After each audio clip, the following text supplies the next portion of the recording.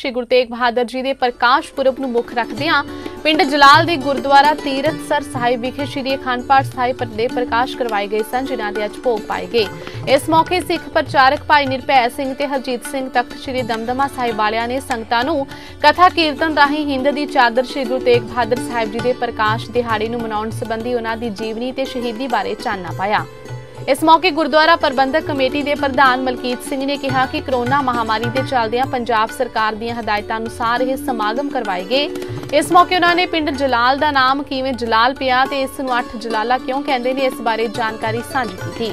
ਇਸ ਮੌਕੇ ਪ੍ਰਧਾਨ ਮਲਕੀਤ ਸਿੰਘ ਜਲਾਲ, ਬਲਵੀਰ ਸਿੰਘ ਫੌਜੀ ਮੀਤ ਪ੍ਰਧਾਨ, ਜਸਵੀਰ ਸਿੰਘ ਮੈਂਬਰ, ਮਹਾ ਸਿੰਘ ਮੈਂਬਰ, ਗਿਆਨਾ ਸਿੰਘ ਫੌਜੀ ਕੈਸ਼ੀਅਰ, ਸੁਰਜਨ ਸਿੰਘ ਸਕੱਤਰ, ਬੂਟਾ ਸਿੰਘ ਢਾਲੀਵਾਲ ਮੈਂਬਰ, ਜੀਤ ਸਿੰਘ ਬਾਬੇ ਕਾ member, Motha Singh Jagsir Singh member, Lakhvir Lucky, Vikramjit Singh Bikkar Singh ਫੌਜੀ ਹੈੱਡ ਗ੍ਰੰਥੀ ਗੁਰਮੀਤ ਸਿੰਘ ਜਗਜੀਤ ਸਿੰਘ ਮੌਜੂਦ ਰਹੇ।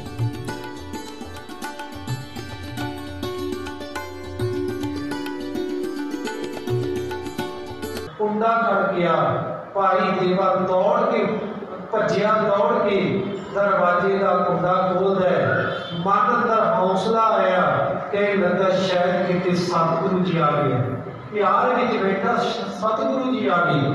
ਗੁਰੂ ਕੇ ਪਿਆਰ ਦਰਵਾਜ਼ਾ ਖੋਲਿਆ ਤੱਕਿਆ ਕੀ ਹੈ?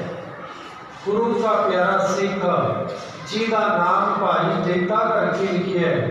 ਭਾਈ ਜੇਤਾ ਸਾਹਮਣੇ ਖਲੋਤਾ ਹੈ, ਸਿਰ ਦੇ ਉੱਤੇ ਇੱਕ ਟੋਕਰਾ ਚੁੱਕਿਆ ਹੋਇਆ ਹੈ। ਭਾਈ ਦੇਵਾ, ਭਾਈ ਜੇਤਾ ਜੀ ਨੂੰ ਪੁੱਛਦਾ ਹੈ ਕਿ ਜੇਤਿਆ ਕੋਈ ਖਬਰ ਸੁਣ। ਹੈ ਨਾਨਕ ਨੰਦ ਹੁਆ ਸਤਿਗੁਰੂ ਮੈਂ ਪਾਇਆ। ਏ ਮਨ ਮੇਰਿਆ, ਤੂੰ ਸਦਾ ਰਹੂ ਹਰ ਨਾਲੇ। ਹਰ ਨਾਲ ਰਹੋ ਤੂੰ ਮਨ ਮੇਰੇ। ਦੁਖ ਸਭ ਸਾਰਨਾ ਅੰਗੀਕਾਰੋ ਸਭਨਾ ਗੱਲਾਂ ਸਮਰੱਥ ਸੁਆਮੀ ਸੋ ਕਿਉ ਮਨੋ ਵਸਾਰੇ। ਕਹਿ ਨਾਨਕ ਮਨ ਮੇਰੇ, ਸਦਾ ਰਹੂ ਹਰ ਨਾਲੇ ਸਾਚੇ ਸਾਹਿਬਾ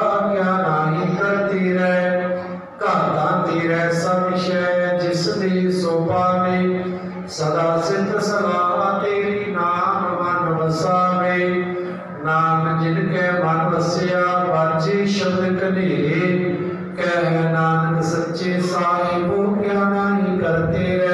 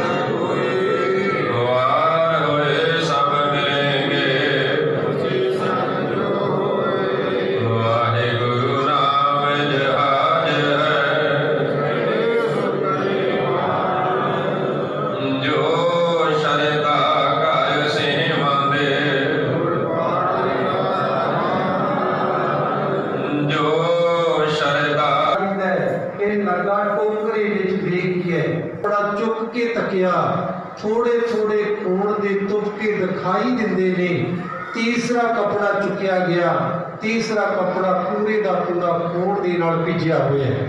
ਚੌਥਾ ਕਪੜਾ ਚੁੱਕਿਆ ਬਾਲਾਂ ਨੂੰ ਪਾਸੇ ਕਰਦਾ ਜਾਂਦਾ ਹੈ। ਪਿਆਰੇ, ਜਦੋਂ ਕਪੜਾ ਚੁੱਕਦਾ ਚੁੱਕਦਾ, ਜਦੋਂ ਚਿਹਰੇ ਦੇ ਵੱਲ ਤੱਕਦਾ ਹੈ ਧਾਰ ਨਿਕਲੀ ਕੇ ਲੱਗਾ ਧੰਨ ਵੀ ਆਪਣੇ ਸਿੱਖਾਂ ਨੂੰ ਜਾ ਕੇ ਦਰਸ਼ਨ ਦਿੰਦੇ ਹੈ।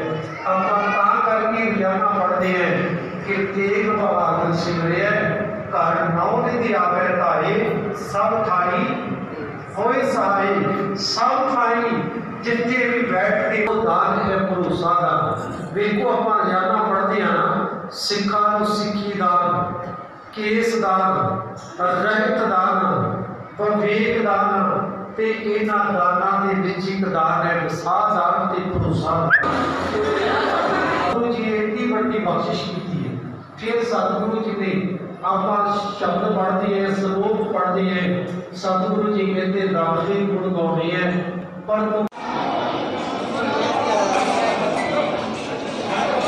ਸਾਰੇ ਹੀ ਸਾਡੇ ਅੱਠਾਂ ਜਲਾਲਾਂ ਵੱਲੋਂ ਇਹ ਜਿਹੜਾ 400 ਸਾਲਾ ਗੁਰੂ ਤੇਗ ਬਹਾਦਰ ਜੀ ਸਾਹਿਬ ਦਾ ਬਣਾਇਆ ਗਿਆ।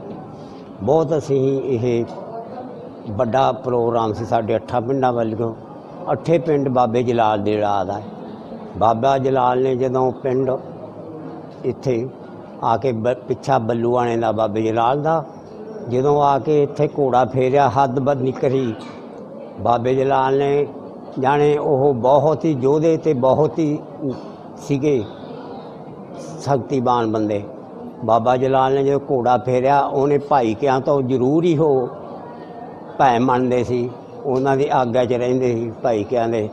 ਜਿਹੜੀ ਪੁਰੇ ਵਾਲਾ ਪਾਸਾ, ਚੜ੍ਹਦਾ ਪਾਸਾ ਤੇ ਉਹਦੇ ਵਿੱਚ ਤੇ ਪਹਾੜ ਵਾਲਾ ਪਾਸਾ, ਉਹਦੇ ਵਿੱਚ ਮੁਰੇ ਆਪਣਾ ਭਾਈ ਕਾ ਦਿਆਲਪਰਾ ਭਾਈ ਕਾ ਰੂਪਾ, ਸਾਧਨਾ ਜਦੋਂ ਆ ਗਈ, ਉਹਨਾਂ ਭਾਈਕਿਆਂ ਦੀ ਹੱਦ ਛੱਡ ਕੇ ਜਦੋਂ ਦੱਖਣ ਵੱਲ ਗਏ, ਗੁਰੂ ਕਾ ਕੋਠਾ ਆ ਗਿਆ, ਗੁਰੂ ਕਾ ਭਾਈ ਕਾ ਭਗਤਾ ਆ ਗਿਆ, ਦੱਖਣ ਵਾਲੀ ਬਾਹੀ ਉਹ ਛੱਡ ਕੇ ਜਦੋਂ ਪੱਛਮਾਂ ਨੇ ਗਏ, ਭਾਈ ਕੀ ਸਮਾਧ ਆ ਗਈ, ਭਾਈ ਕਿਆ ਪਿੰਡਾਂ ਤੋਂ ਵਿਚਾਲੇ ਵਿਚਾਲੇ ਅੱਠਾਂ ਪਿੰਡਾਂ ਦੀ ਹੱਦ ਇਹਦੇ ਵਿੱਚ ਹੈ ਤੇ ਜਿਹੜੇ ਅੱਠਾਂ ਪਿੰਡਾਂ ਦੇ ਵਿੱਚੋਂ ਨਾਮ ਭਾਈ ਜਲਾਲ ਵੱਡਾ ਪਿੰਡ ਵੱਜਦਾ ਹੈ ਜਿਹਨੂੰ ਵੱਡਾ ਭਰਾ ਕਹਿ ਕੇ ਸਮਝਦੇ ਆ ਸਾਰੇ ਭਾਈਚਾਰਾ ਸਮਝਦੇ ਆ। ਭਾਈ ਕਾ ਗੁਰੂ ਕਾ ਆਕਲ ਜਿਹੜਾ ਭਾਈ ਭਾਈ ਜਲਾਲ ਆਕਲੀਆ ਵੱਜਦਾ ਇੱਕ ਪਿੰਡ ਦੂਜਾ ਪਿੰਡ ਭੋਜਦੀਪੁਰਾ ਤੀਜਾ ਹਕਮਾਲਾ ਕੋਰਸ ਵਾਲਾ ਹ- ਗੁਰੂਸਰ ਹਮੀਰਗੜ੍ਹ ਰਾਮੂਆਣਾ। ਅੱਠੇ ਪਿੰਡ ਇਹ ਤੇ ਆਪਣੇ ਭਾਈ ਜਲਾਲ ਦੀ ਰਾਤ ਹੈ। ਤੇ ਭਾਈਚਾਰਾ ਕਰਕੇ ਵ ਵਰਤਦੇ ਆ, ਉਹ ਭਾਈਚਾਰਾ ਇੱਕੋ ਚੱਲਦੇ ਆ। ਜਦੋਂ ਇੱਥੇ ਰਾਜਾ ਮ- ਨਾਭਾ ਆਉਂਦਾ ਸੀ, ਹੀਰਾ ਸਿੰਘ ਰਾਜਾ, ਨਹਿਰੀ ਕੋਠੀ ਸੀ ਜਲਾਲ, ਤੇ ਉਦੋਂ 8-8 ਦਿਨ ਇੱਥੇ ਰਹਿ ਕੇ ਲੋਕਾਂ ਦੇ ਫੈਸਲੇ ਕਰਦਾ ਸੀ, ਲੋਕਾਂ ਦੇ ਦੁੱਖ ਸੁਣਦਾ ਸੀ। ਸਾਡੇ ਪਿੰਡ ਦਾ ਜਿਹੜਾ ਜੈਲਦਾਰ ਸੀ, ਭਾਈ ਹਰਦਿਆਲ ਸਿੰਘ, ਉਹਦੀ ਬਹੁਤ ਹੀ ਰਾਜਾ ਹੀਰਾ ਸਿੰਘ ਮੰਨਦਾ ਸੀ। ਜਿਵੇਂ ਉਹ ਆਂਦਾ ਸੀ, ਉਵੇਂ ਹੀ ਕਰਦਾ ਸੀ। ਉਹਨੇ ਦੁੱਖ ਦੱਸਿਆ ਉਸ ਨੂੰ ਤੇ ਭਾਈ ਹਰਦਿਆਲ ਸਿੰਘ ਨੇ ਆਖਿਆ, ਜੀ, ਸਾਨੂੰ ਬਹੁਤ ਦੁੱਖ ਹੈ ਉਹ ਦਾ ਦੱਸ ਹਰਦਿਆਲ ਸਿੰਘ ਤੇਰਾ ਦੁੱਖ ਪੂਰਾ ਕਰ ਦੂੰਗਾ ਸਾਡੇ ਜਿਹੜਾ ਮਰਜ਼ੀ ਸਿੱਖਾਂ ਦਾ ਵਿਹੜਾ ਸੀ, ਪਿੰਡ ਦੇ ਵਿੱਚ, ਘਰਾਂ ਦੇ ਵਿੱਚ ਸੀ, ਉਹ ਮਾਸ ਮਿੱਟੀ ਖਾਂਦੇ ਸੀ, ਉਹਦਾ ਵੀ ਦੁੱਖ ਸੀ। ਸਾਡੇ ਬੌਰਗੇ ਸੀ, ਬੌਰਗਾਂ ਦਾ ਵੀ ਦੁੱਖ ਸੀ, ਚੋਰੀ ਕਰਦੇ ਸੀ, ਦਾਣੇ ਨਹੀਂ ਛੱਡਦੇ। ਉਹਨਾਂ ਨੂੰ ਆਂਦਾ, ਇਹ ਸਾਨੂੰ ਦੁੱਖ ਹੈ ਉਹ ਆਂਦਾ, ਜਿਹੜਾ ਮੇਰਾ ਰਿਆਸਤ ਹੈ ਨਾਭੇ ਦੀ ਮੈਂ ਆਪਦੀ ਰਿਆਸਤ ਤੋਂ ਬੌਰਗਾ ਕੱਢ ਦੇਣੇ ਆ, ਬੌਰਗੇ ਕੱਢਤੇ ਤੇ ਜਿਹੜੇ ਵਿਹੜੇ ਆ, ਉਹ 500 ਕਰਮ ਅਸੀਂ ਪਿੰਡ ਤੋਂ ਛਿਪਦੇ ਵਾਲੇ ਪਾਸੇ ਕਰ ਦੇਣੇ ਆ। ਇਸੇ ਤਰ੍ਹਾਂ ਹੀ ਉਹ ਆਪਦੀ ਰਿਆਸਤ ਦੇ ਵਿੱਚ ਰਾਜੇ ਨਾਭੇ ਨੇ ਕਰੇ ਤੇ ਇੱਥੇ 8-8 ਦਿਨ ਰਹਿੰਦਾ ਸੀ ਤੇ ਦੁੱਖ ਲੋਕਾਂ ਦੇ ਸੁਣਦਾ ਸੀ। ਭਾਈ ਹਰਦਿਆਲ ਸਿੰਘ ਦੀ ਬਹੁਤ ਮੰਨਦਾ ਸੀ। ਉਹਨੇ ਦੋ ਗੁਰਦੁਆਰਿਆਂ ਨੂੰ ਇੱਥੋਂ ਜਲਾਲ ਦੀ ਹੱਦ ਚੋਂ ਪੈੜੀ ਦਿੱਤੀ।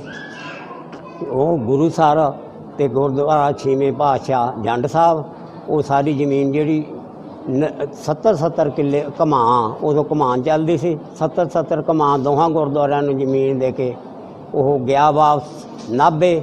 ਨਾਭੇ ਸਾਡੇ ਪਿੰਡ ਦਾ ਕੇਰ ਸਿੰਘ ਸੀਗਾ ਉੱਥੇ ਆਪਣਾ। ਉਸ ਦਾ ਰਸੋਈਆ ਸੀ। ਉਹਨੇ ਜਾ ਕੇ ਦੱਸਿਆ, ਕੇਰ ਸਿਆਂ ਮੈਂ ਤੇਰੇ ਪਿੰਡ ਦੋ ਗੁਰਦੁਆਰਿਆਂ ਨੂੰ ਭੇੜੀ ਦੇ ਆਇਆ। ਕਿਹੜੇ ਕਿਹੜਿਆਂ ਨੂੰ? ਇੱਕ ਗੁਰੂ ਸਰ, ਜੰਡ ਸਾਹਿਬ ਗੁਰ- ਜੰਡ ਸਾਹਿਬ ਗੁਰਦੁਆਰਾ ਛੇਵੇਂ ਪਾਤਸ਼ਾਹ ਦਾ ਭਾਈ ਰੂਪ ਚੰਦ ਤੇ ਭਾਈ ਸਾਧੂ ਸਿੰਘ ਵਾਲਾ। ਤੇ ਉੱਥੇ ਦੇ ਆਇਆ ਜ਼ਮੀਨ, ਉਹ ਆਂਦਾ ਫਿਰ ਸਾਡੇ ਪਿੰਡ ਦਾ ਕੁਝ ਨਹੀਂ ਦਿੱਤਾ ਤੂੰ। ਸਾਡੇ ਪਿੰਡ ਕੀ ਦਿੱਤਾ? ਸਾਡੇ ਸੰਤ ਮਹਾਪੁਰਸ਼ ਬੈਦ ਹੈ ਬਹੁਤ ਤਕੜੇ ਆ, ਉਹਨਾਂ ਨੂੰ ਕੀ ਦਿੱਤਾ? ਆਂਦਾ ਮੈਂ ਤਾਂ ਹਰਦਿਆਲ ਸਿੰਘ ਨੇ ਦੱਸਿਆ ਨਹੀਂ, ਮੈਂ ਉਹਨੂੰ ਵੀ ਦੇ ਆਉਂਦਾ। ਹੁਣ ਜਦੋਂ ਗਿਆ ਮੈਂ ਇਹ ਪੈੜੀ ਉਹਨੂੰ ਦੇ ਕੇ ਆਉਂਗਾ। ਜਦੋਂ ਦੂਜੇ ਦੌਰੇ ਆਇਆ, ਉਹ ਭਾਈ ਬਿਸ਼ਨ ਸਿੰਘ ਜਿਹੜੇ ਸੰਤ ਬੈਦ ਸੀ, ਉਹਨਾਂ ਨੂੰ ਪੈੜੀ ਫਿਰ ਜਿੱਤੀ ਦੁਨਾ ਪੱਤੀਆਂ ਚੋਂ ਕੱਢ ਕੇ ਤੇ ਇੱਕੋ ਜੀ ਪੈੜੀ ਕੱਢ ਕੇ ਜਿਹੜੀ ਹੋਈ ਵੀ ਸੀਗੀ, ਤੀਜੀ ਪੀੜ੍ਹੀ ਤੋਂ ਸਰਕਾਰੀ ਹੋਈ ਵੀ ਸੀ। ਦੋਨਾਂ ਪੱਤੀਆਂ ਚੋਂ ਕੱਢ ਕੇ ਉਹ, ਉਹਨੇ ਰਾਜੇ ਨੇ ਇੱਕ ਦੇ ਨਾਲ ਗੁਰੂ ਗ੍ਰੰਥ ਸਾਹਿਬ ਨਾਲ ਕਰਾਤੀ, ਇੱਕ ਗੁਰਦੁਆਰਾ ਸਾਹਿਬ ਨਾਲ ਕਰਾਤੀ। ਦੋਨਾਂ ਪੱਤੀਆਂ ਦੀ ਅੱਡੋ ਅੱਡੀ ਕਰਾਤੀ, ਜਿਹੜੇ ਉਹ ਭਾਈ ਬਿਸ਼ਨ ਸਿੰਘ ਦੇ ਦੋ ਚੇਲੇ ਸੀ, ਇੱਕ ਜਵਾਲਾ ਸਿੰਘ, ਇੱਕ ਹਰਨਾਮ ਸਿੰਘ। ਉਹਨਾਂ ਨੇ ਅੱਡੋ ਅੱਡੀ ਡੇਰੇ ਦੋ ਬਣਾ ਲਏ। ਉਦੋਂ ਬਾਅਦ ਜਦੋਂ ਡੇਰੇ ਦੋ ਬਣ ਗਏ ਉਹਨਾਂ ਨੇ ਚੱਲਿਆ ਕੰਮ ਜਿਹੜਾ ਬਿਸ਼, ਆਪਣੇ ਹਰਨਾਮ ਸਿੰਘ ਨੇ ਚੇਲਾ ਮੰਨਿਆ, ਉਹ ਤਾਂ ਸਿੱਧ ਬੰਦਾ ਸੀ ਤੇ ਉਹ ਲੋਕਾਂ ਦੇ ਫਾਇਦੇ ਸੀ, ਉਹ ਜਿਉਂਦਾ ਜਿਉਂਦਾ ਗੁਰਦੁਆਰਾ ਸਾਹਿਬ ਬਣਾ ਗਿਆ, ਨਿਸ਼ਾਨ ਸਾਹਿਬ ਆਪਦੇ ਹੱਥੀਂ ਚਾੜ ਗਿਆ ਵੀ ਇਹ ਸਾਡਾ ਗੁਰਦੁਆਰਾ ਹੈ, ਇਹ ਡੇਰਾ ਨਹੀਂ ਹੈ। ਜਿਹੜਾ ਜਵਾਲਾ ਸਾਹਿਬ ਸੀ ਉਸ ਨੇ ਜਿਹੜਾ ਉਹਦਾ ਚੇਲਾ ਰੱਖਿਆ ਸੀ, ਉਹ, ਉਹਦਾ ਗਾਜੀ ਸੀ, ਉਹਨੇ ਚੇਲਾ ਬਣ ਕੇ ਨੱਪਣਾ ਚਾਹਿਆ ਪਿੰਡ ਨੇ, ਉਹ ਕੇਸ ਕਰਕੇ ਉਹ, ਉਹਨਾਂ ਤੋਂ ਲਿਆ ਉਹ ਤੋਂ, ਮਿੱਠੂ ਤੋਂ। ਤੇ ਹੁਣ ਦੋਨੇ ਗੁਰਦੁਆਰੇ ਸਾਡੇ ਪਿੰਡ ਵਿੱਚ ਨਿਸ਼ਾਨ ਸਾਹਿਬ ਚੜੇ ਹੋਏ ਆ। ਤੇ ਇਹ ਗੁਰਦੁਆਰੇ ਸਾਹਿਬ ਵੱਜਦੇ ਆ, ਗੁਰਦੁਆਰਾ ਸਾਹਿਬ ਵੱਜਦਾ। ਹਾਂ, ਸਾਡੇ ਸਾਡੇ ਪਿੰਡ ਦੀ ਸਾਰੀ ਏਕਤਾ, ਸਾਡੇ ਅੱਠਾਂ ਪਿੰਡਾਂ ਦੀ ਏਕਤਾ ਹੈ। ਅਸੀਂ ਜਿੱਧਰ ਵੀ ਹੋਵਾਂ, ਅਸੀਂ ਰਾਏ ਕਰਕੇ ਸਾਡੇ ਜਲਾਲ ਪਿੰਡ ਦੀ ਸਾਰੇ ਪਿੰਡ ਮੰਨਦੇ ਆ। ਵੱਡਾ ਭਰਾ ਗਿਣਦੇ ਆ ਉਸਨੂੰ ਵੱਡਾ ਭਰਾ ਕਰਕੇ ਮੰਨਦੇ ਆ। ਸਾਰੀ ਸੰਗਤ ਨੂੰ ਜੀ ਆਇਆਂ। ਕਿਹਾ ਜਾਂਦਾ ਹੈ ਕਿ ਇਹ ਜਲਾਲ ਦਾ ਜਿਹੜਾ ਇਤਿਹਾਸ ਹੈ, ਇੱਥੇ ਗੁਰੂ ਦਸਵੇਂ ਪਾਤਸ਼ਾਹ ਵੀ ਪੈਰ ਪਾਏ ਆਏ ਆ। ਕਦੋਂ ਆਏ ਆ ਉਹ? ਜਦੋਂ ਚਮਕੌਰ ਦੀ ਜੰਗ ਲੜ ਕੇ ਤੇ ਰਾਏਕੋਟ ਲੰਮੇ ਪਿੰਡ ਤੇ ਤਖਤੂਪੁਰਾ ਤੇ ਪਿੰਡ ਸਾਰਿਆਂ ਦੇ ਦੀਨਾ ਸਾਹਿਬ ਆਏ ਆ। 9 ਮਹੀਨੇ 9 ਦਿਨ 9 ਘੜੀਆਂ ਤੇ ਦੀਨਾ ਸਾਹਿਬ ਰਹੇ ਹੈ ਉਹਨਾਂ ਨੇ ਜਫਰਨਾਮਾ ਲਿਖਿਆ, ਭਾਈ ਦੇਸੂ ਦੇ ਚਬਾਰੇ ਵਿੱਚ ਰਹਿੰਦੇ ਸੀ ਤੇ ਜਫਰਨਾਮਾ ਦਿਆਲਪੁਰਾ ਤੇ ਮੈਰੇ ਵਿੱਚ ਲਿਖਦੇ ਸੀ। ਉੱਥੇ ਲਿਖ ਕੇ ਜਫਰਨਾਮਾ 9 ਮਹੀਨੇ ਕਰਕੇ ਜਦੋਂ ਮੋਸਰ ਨੂੰ ਜਾਣ ਲੱਗੇ, ਉਦੋਂ ਜਲਾਲ ਆ ਕੇ ਖੜੇ ਕਿ ਜਲਾਲ ਦੀ ਸੰਗਤ ਨੂੰ ਪੁੱਛਿਆ, ਭਾਈ ਜਲਾਲ, ਕਿਉਂ ਅਸੀਂ ਰਹਿਣਾ ਇੱਥੇ ਰਾਤ? ਤੇ ਸਾਨੂੰ ਜਲ ਜੰਗਾ ਹੋਵੇ, ਚੰਗੀ ਛਾਂ ਹੋਵੇ ਤੇ ਅਸੀਂ ਉੱਥੇ ਰਾਤ ਕੱਟਣੀ ਹੈ। ਦੇ ਜਲਾਲ ਦੀ ਸੰਗਤਾਂ ਦੀ ਜੀ ਸਾਡੇ ਰੁੱਖਾਂ ਵਾਲੀ ਢਾਬ ਹੈ। ਬਹੁਤ ਵਧੀਆ ਪਾਣੀ ਹੈ, ਬਹੁਤ ਵਧੀਆ ਅਸੀਂ ਸਾਰਾ ਪਿੰਡ ਉੱਥੋਂ ਪੀਂਦੇ ਹਾਂ। ਗੁਰੂ ਸਰ ਪਿੰਡ ਉਦੋਂ ਨਹੀਂ ਸੀ ਉੱਥੇ ਬਾਦ ਵਧਿਆ। ਤੇ ਉਹ ਰੁੱਖਾਂ ਵਾਲੀ ਢਾਬ ਜਲਾਲ ਦੀ ਸੀ, ਜਲਾਲ ਦੀ ਹੱਦ ਸੀ। ਉੱਥੇ ਰਹੇ ਉਹ, ਉੱਥੇ ਰਹਿ ਕੇ ਰਾਤ ਕੱਟ ਕੇ ਗਏ। ਉਹ ਇੱਕ ਕਹਾਣੀ ਥੋੜੀ ਜੀ ਹੋਰ ਆ ਜਿਹੜੀ ਉਮਰਾ ਵੀ ਬਾਬੇ ਜਲਾਲ ਦਾ ਪੁੱਤ ਸੀ। ਉਹਨੇ ਗਲਤੀ ਵਿੱਚ ਘੋੜਾ ਲਿਆਂਦਾ। ਤੇ ਤੜਕੇ ਪੰਚਾਇਤ ਨੂੰ ਜਾ ਕੇ ਮੋੜ ਆਇਆ। ਤੇ ਕੱਲ ਕੋਈ ਸ਼ਰਾਫ ਨਹੀਂ ਦਿੱਤਾ ਉਸਨੇ ਗੁਰਦਾਸ ਸਿੰਘ ਬਾਦਸ਼ਾਹ ਨੇ। ਉਹਨਾਂ ਨੇ ਇੰਨੀ ਗੱਲ ਆਖੀ ਆ ਉਮਰਿਆ ਤੂੰ ਮਾੜੀ ਗੱਲ ਕਰੀ ਤੇ ਅਸੀਂ ਤਾਂ ਤੇਰੀਆਂ ਜੜਾਂ ਪੱਟਣੇ ਪਰ ਹੁਣ ਤੈਨੂੰ ਬਖਸ਼ਿਆ ਗਿਆ। ਜਦੋਂ ਤੂੰ ਘੋੜਾ ਲੈ ਕੇ ਵਾਪਸ ਆ ਗਿਆ। ਉਹਨੇ ਮਾਫੀ ਮੰਗ ਕੇ ਤੇ ਘੋੜਾ ਵਾਪਸ ਕਰਿਆ ਤੇ ਗੁਰੂ ਦਸਵੇਂ ਪਾਤਸ਼ਾਹ ਭਾਈ ਕੇ ਭਗਤੇ ਗਏ ਤੇ ਇੱਥੋਂ ਹੁੰਦਿਆਂ ਤੇ ਜਲਾਲ ਪਿੰਡ ਨੂੰ ਵਰ ਦਿੱਤਾ। ਜਦੋਂ ਜਲਾਲ ਪਿੰਡ ਗਏ, ਦੁੱਧ ਲੈ ਕੇ ਤੇ ਉਹਨਾਂ ਨੇ ਆਖਿਆ ਜਲਾਲ ਕੇ ਕੋਈ ਦੁੱਖ ਦੱਸੋ। ਉਹ ਆਂਦਾ ਜੀ, ਸਾਨੂੰ ਦੁੱਖ ਕੋਈ ਨਹੀਂ। ਸਾਡੇ ਨਾਲ ਪਾਸਿਆਂ ਵਾਲੇ ਪਿੰਡ ਸ਼ਰੀਕਾ ਰੱਖਦੇ ਆ ਤੇ ਅਸੀਂ ਨਵੇਂ ਨਵੇਂ ਆਏ ਆ। ਉਹ ਕਹਿੰਦਾ, ਜਿਹੜਾ ਚੜ ਕੇ ਆਊ, ਜਲਾਲ ਤੇ ਲਵਾ ਕੇ ਜਾਊ। ਵਰ ਦੇ ਕੇ ਗਏ ਗੁਰੂ ਦਸਵੇਂ ਪਾਤਸ਼ਾਹ। ਉਦੋਂ ਆ ਭਾਈ ਕੇ ਭਗਤੇ ਗੁਰੂ ਕੇ ਕੋਠੇ, ਮਲੂਕੇ, ਹੁੰਦੇ ਹੋਏ ਲੰਬਾਲੀ ਤੇ ਬਾਈਬਲ ਤੇ ਭਾਈ ਆਪਣਾ ਢਿਲਮਾ ਤੇ ਕੋਟ ਕਪੂਰਾ ਇੱਥੋਂ ਹੁੰਦੇ ਹੋਏ ਭਾਈ ਮੁਕਤਸਰ ਗਏ। ਇਹ ਇਤਿਹਾਸ ਉਦੋਂ ਦਾ ਹੈ ਜਦੋਂ ਚਮਕੌਰ ਦੀ ਜੰਗ ਹੋਈ ਹੈ ਤੇ ਬੱਚਿਆਂ ਨੂੰ ਸ਼ਹੀਦ ਕਰਿਆ ਗਿਆ। ਉਸ ਵੇਲੇ ਇਹ ਰਸਤੇ ਆਏ ਸੀ। ਉਦੋਂ ਹੁੰਦੇ ਹੋਏ ਭਾਈ ਜੀ ਮੁਕਤਸਰ ਦੀ ਜੰਗ ਹੋਈ ਹੈ ਉੱਥੇ। ਉਹ ਤੇ 40 ਮੁਕਤਾਂ ਦੀ ਕੁਰਬਾਨੀ ਕਰੀ ਹੈ। ਇਹ ਇਤਿਹਾਸ ਸਾਡੇ ਜਲਾਲ ਦਾ ਹੋਰ ਤੇ ਜਿੰਨਾ ਕੱਲ ਲਿਖਾਇਆ ਸੀ ਉਹ ਭਾਈ ਜਲਾਲ ਦੀ ਹੋਰ ਜਗ੍ਹਾ ਜਿਹੜਾ ਗੁਰੂ ਦਸਵੇਂ ਪਾਤਸ਼ਾਹ ਆਏ ਆ ਕੱਲੇ ਉੱਥੇ ਰੁੱਖਾਂ ਦੀ ਢਾਬ ਤੇ ਆਏ ਆ। ਹੋਰ ਇੱਥੇ ਸਾਡੇ ਪਿੰਡ 'ਚ ਕਿਤੇ ਨਹੀਂ ਆਏ ਕੋਈ ਮ, ਖੁਸ਼ੀ ਬਣਾਈ ਜਾਵੇ ਵੀ ਇੱਥੇ ਰਾਮ ਕਰਿਆ ਜਾਂ ਇੱਥੇ ਆ ਕਰਿਆ। ਉਹ ਕੋਈ ਇਹ ਝੂਠਾ ਪਲੰਦਾ ਹੈ। ਇਹਦੇ ਵਿੱਚ ਸੱਚ ਇਹ ਹੈ ਵੀ ਗੁਰੂ ਸਰ ਦਾ ਗੁਰ ਨੂੰ ਜਿਹਨੂੰ ਜ਼ਮੀਨ ਦਿੱਤੀ ਹੈ ਰਾਜੇ ਨੇ ਹੀਰਾ ਤੇ ਉਹਨੇ ਤੇ 70 ਕਮਾ ਤੇ 70 ਕਮਾ ਜੰਡ ਸਾਹਿਬ ਨੂੰ ਤੇ 70 ਕਮਾਈ ਸਾਡੇ ਬੈਦ ਨੂੰ ਦਸ਼ਨ ਸਿੰਘ ਨੂੰ ਤੇ ਇਹਨਾਂ ਤਿੰਨਾਂ ਪਿੰਡਾਂ ਨੂੰ ਜਲਾਲ ਦੀ ਪੈ- ਪੈੜੀ ਦਿੱਤੀ ਹੈ ਤੇ ਉਦੋਂ ਬਾਅਦ ਹੋਰ ਕੋਈ ਇੱਥੇ ਜਗ੍ਹਾ ਹੈ ਨਹੀਂ ਦਸਵੇਂ ਪਾਤਸ਼ਾਹ ਦੀ, ਐਵੇਂ ਕੋਈ ਕੁਛ ਬਣਾਈ ਜਾਵੇ।